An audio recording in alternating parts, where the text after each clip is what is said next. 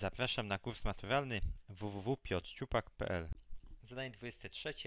Jeżeli A jest zdarzeniem losowym, A, A' jest zdarzeniem przeciwnym, to zdarzenie A oraz do zdarzenia A oraz zachodzi równość P od A równa się 2 razy P od A', to.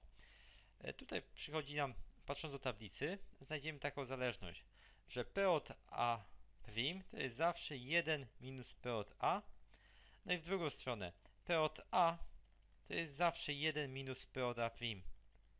P od A'. Taka jest zależność między zdarzeniami przeciwnymi, no bo zobaczmy, jeśli na przykład prawdopodobieństwo, że wygram na loterii to jest 1 dziesiąta, to jakie jest prawdopodobieństwo, że przegram? No to jest po prostu 1 minus 1 dziesiąta, prawda? No bo to jest cała reszta, czyli 9 dziesiątych. Jeśli wygram z prawdopodobieństwem 1 dziesiątej, no to przegram z prawdopodobieństwem 9 dziesiątych. Czyli te dwa prawdopodobieństwa, czyli P od A plus P od A' zawsze muszą się sumować do jednego. No i przenosząc na drugą stronę otrzymuję zależność, na przykład P od A, że to jest 1 minus P od A'. No dobrze. Co teraz? Wiemy ponadto, że zachodzi taka równość. P od A równa się 2 razy P od A'.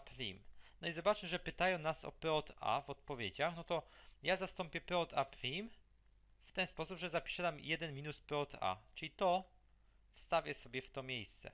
Co otrzymuję? Otrzymuję takie równanie, że P od A to się równa 2 razy otwieram nawias, a w nawiasie jest 1 minus P od A. W nawiasie jest 1 minus P od A, zamykam nawias i co teraz mam? P od A to się równa 2 razy 1, czyli 2, odjąć yy, 2P od A.